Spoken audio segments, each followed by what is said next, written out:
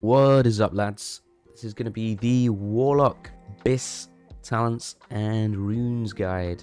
And once again, I'm going to try and keep this nice and short for you.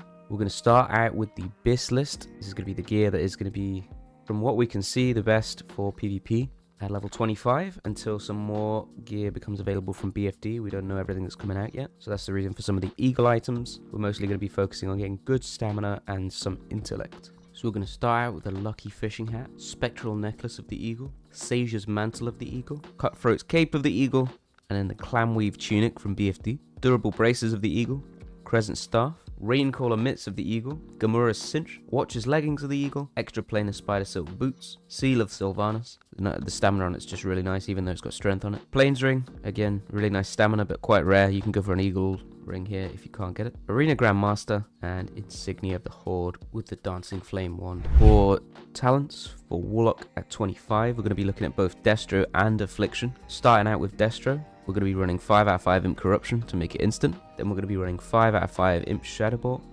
5 out of 5 Bane, and 1 out of 1 Shadowburn. For the runes, we're going to be running Demonic Tactics, but there's definitely an option to run Lake of Fire as well, potentially. We're going to be running Incinerate on the leg rune, and then we're going to be running Metamorphosis on the hand rune.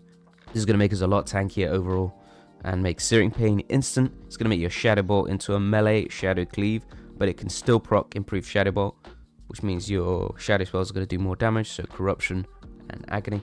This can also be substituted for Chaos Bolt if you are feeling like playing more aggressively and you don't think you need the tankiness of meta. You're also going to have the potential to play Affliction at level 25, and while I feel it's slightly weaker than Destro, it's still going to be decent due to how strong meta looks like it's going to be. We're going to take 1 out of 5 suppression, assuming that we're going to get the last 1% hit from the boots. We're going imp corruption, 2 out of 2 imp life tap, 2 out of 5 imp drain life to get us to the next tier, improve curse of agony, and then amplify curse.